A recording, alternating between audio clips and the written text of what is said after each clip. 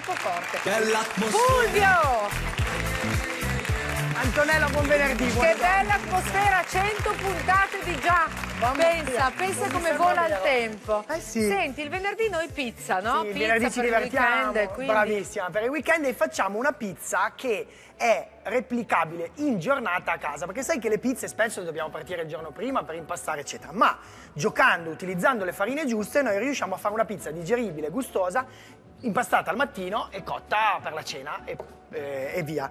Ehm, che cosa facciamo? Utilizziamo il farro, il farro in due versioni, il farro bianco, quindi una farina di farro setacciata tipo 2, 800 grammi, e 200 grammi di farina di farro integrale per dare un sapore e aiutare anche l'assorbimento dell'acqua, 680 ml di acqua, 8 grammi di lievito fresco di birra, 22 grammi di sale e 30 ml di olio extravergine di oliva, che è facoltativo ma a me piace perché dà aiuto anche all'estensibilità della pasta e utilizzeremo la semola di grano duro semplicemente poi per stendere la nostra pizza. Va bene, procuratevi questi ingredienti perché tra poco faremo la pizza del weekend.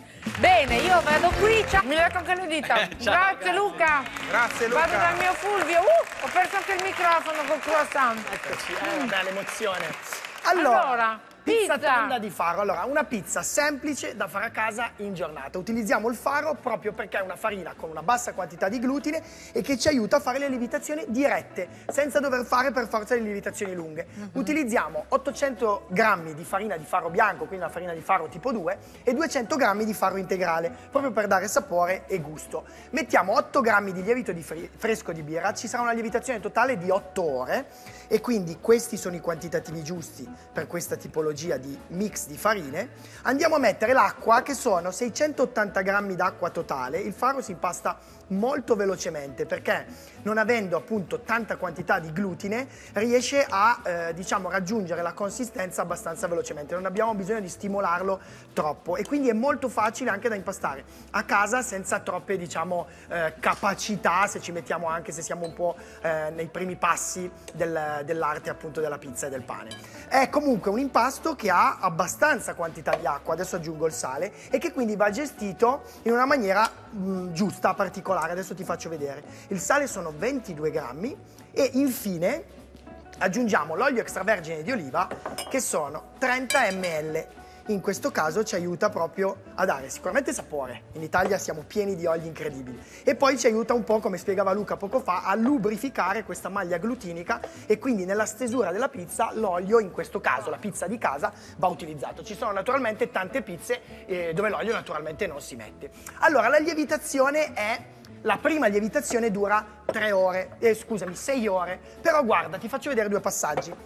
Dopo tre ore, questo è l'impasto che ci viene. Naturalmente possiamo usare anche una, una ciotola più grande, però eh, sicuramente eh, raddoppierà molto di volume. Quindi la prima lievitazione, dopo tre ore, lo mettiamo sul tavolo in questa maniera e effettuiamo quelle che si chiamano pieghe di rinforzo, semplicemente piegando su se stesso l'impasto in questo Comunque modo. ci sono tante affinità tra la panificazione e la pasticceria. eh. Assolutamente sì. Anche di Sì. movimenti, di... eh, Assolutamente, vedi, qui abbiamo un impasto che rimetteremo nella nostra ciotola e dovrà, dovrà lievitare ancora altre tre ore, quindi la prima lievitazione dura... ehm, Quindi diciamo, tre, sei- poi lo rimpastiamo, Pastiamo altre tre. Sì, più che rimpastarlo diamo proprio queste Ok. pieghe, vedi che non l'ho sgonfiato, ma a questo punto il nostro impasto, anche perché il farro va molto veloce, nel senso Come- che è non è fatto per fare lievitazioni troppo lunghe, ma è importante, diciamo, eh, gestirlo, ok?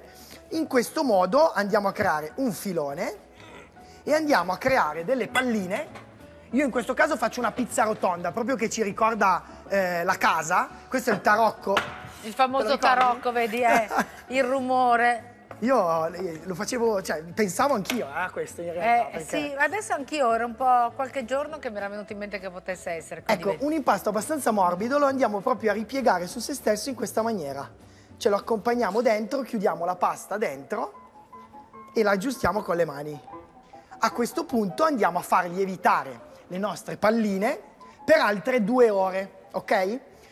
In questo caso la lievitazione totale dura 8 ore, quindi se impastiamo a mezzogiorno del sabato... sera possiamo alla mangiare sera- la pizza, Ecco, io ecco. metto sempre una teglia sopra, in questo caso, in modo che a casa riusciamo a farlo, a ricreare lo stesso concetto per non far... Una teglia sopra l'altra, Bravissima, per non far fare bene? la crosta. E a questo punto andiamo a stendere la nostra pizza, che è una pizza proprio casalinga. Quindi possiamo, lo stesso impasto possiamo anche utilizzarlo per una eh, pizza in teglia, se vogliamo, una teglia casalinga. In questo caso facciamo una pizza rotonda. Come facciamo? Mettiamo la semola di grano duro, che è quella che ci aiuta di più a, diciamo, a staccare eh, l'impasto. A questo punto mettiamo un po' di farina e andiamo a accompagnarci dai quattro lati, in questo caso, la stacchiamo leggermente e la giriamo in questa maniera. La arrotondiamo leggermente, mettiamo, siccome è un impasto molto morbido, ci aiutiamo proprio con la Con la farina, semola. ci rigiriamo il nostro impasto e andiamo con le mani in questa maniera qua A a stendere la nostra pizza. Quindi sono quattro pizze tonde queste. Sì, ne vengono di più, sì sì sì, e ne dobbiamo cuocere una per volta. Il nostro cornicione possiamo eh, farlo a piacimento, nel senso che... A chi piace il bordo alto lo tiene un po' alto. L'importante è stenderla e cercare, anche se lo vogliamo un po' più fine, vedi, non andarlo a toccare, ecco. Possiamo, ci sono veramente modalità. Vedi che questo impasto però è un impasto molto morbido. A questo punto, se abbiamo la nostra pala, ormai le vendono, la pala e la Certo. pietra refrattaria di casa, andiamo a sfarinarla leggermente e andiamo a passare la pizza in questa maniera sulla nostra pala. Se non abbiamo la pala, nessun problema, utilizziamo la teglia. Questo Certo. passaggio lo facciamo con la teglia. Andiamo a mettere la passata di pomodoro, proprio col cucchiaio, come facciamo a casa. La andiamo a cospargere Anche qua piacimento, c'è chi mette più Piacimento. pomodoro, chi mette leggermente più possiamo mozzarella. andare anche leggermente Esatto, sui bordi perché sì. i bordi con Se la no passata di rimangono pomodoro sempre poverini infelici, invece... sì, ma poi la leggera passata di pomodoro, e soprattutto nella cottura di casa che è un po' più lunga, aiuta a rendere un po' più umida il bordo e aiuta a farlo alzare un po' di più. A questo punto mozzarella. La mozzarella si può mettere o subito o alla fine.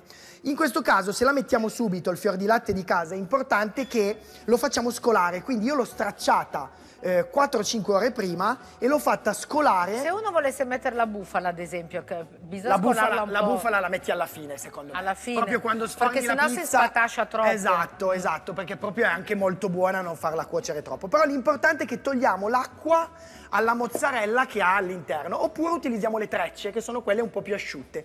Quindi a questo punto andiamo in forno, la cottura è ehm, diciamo inizia con la parte più bassa, quindi la parte più bassa a 250 gradi sempre, eccoci qua, per alcuni minuti, tipo 4-5 minuti e poi terminiamo la cottura gli ultimi minuti, quindi 11 minuti possiamo fare eh, 6 e 5, 6 nella parte più bassa e 5 nella parte più alta, in modo da avere poi la nostra pizza eh, Che meraviglia. cotta e riuscire a casa ad avere... Allora, per me la pizza è questa, Questa no? potrebbe essere già una È margherita. già una margherita, poi tu ci vuoi Però mettere io su... ci metto il prosciutto cotto rigorosamente dopo cottura.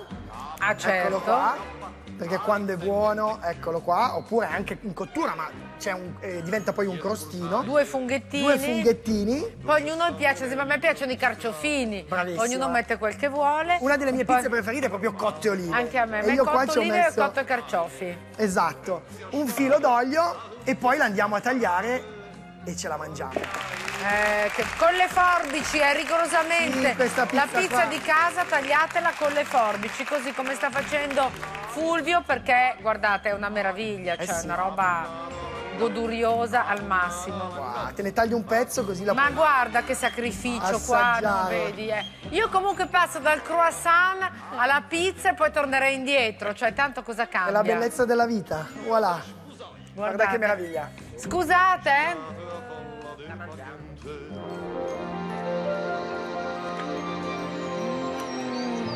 Me la, me la tieni via, Certo. una cosa